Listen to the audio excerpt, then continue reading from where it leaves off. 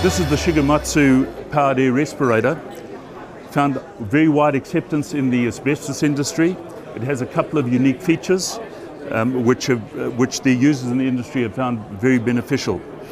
It has a rechargeable battery which is good for eight to nine hours of life.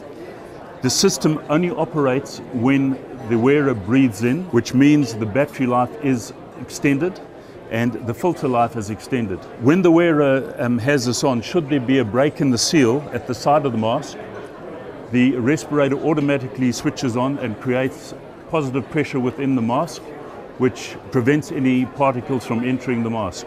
It's very lightweight and it has a six point harness, which makes it very comfortable for the wearer. If you're looking for a product that's going to be effective for your workers in the asbestos industry, this is the one to go for.